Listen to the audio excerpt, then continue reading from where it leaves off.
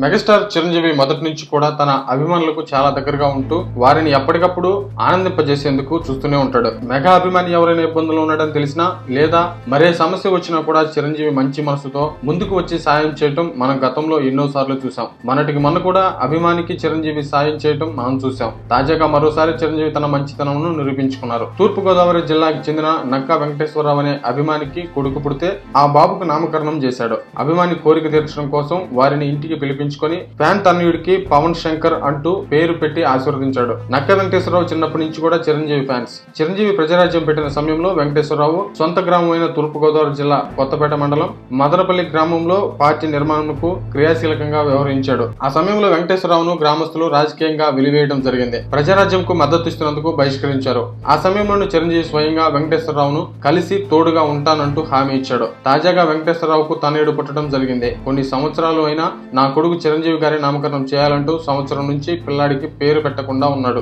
ఆ విషయం అభిమానుల ద్వారా తెలుసుకున్న చిరంజీవి నేడు వెంకటేశ్వరరావును కుటుంబ సభ్యులతో సహా ఇంటికి రమ్మని పిల్లాడికి నామకరణం చేయడం జరిగింది. మరోసారి చిరంజీవి అభిమానుల మెగాస్టార్ అనిపించుకున్నాడు.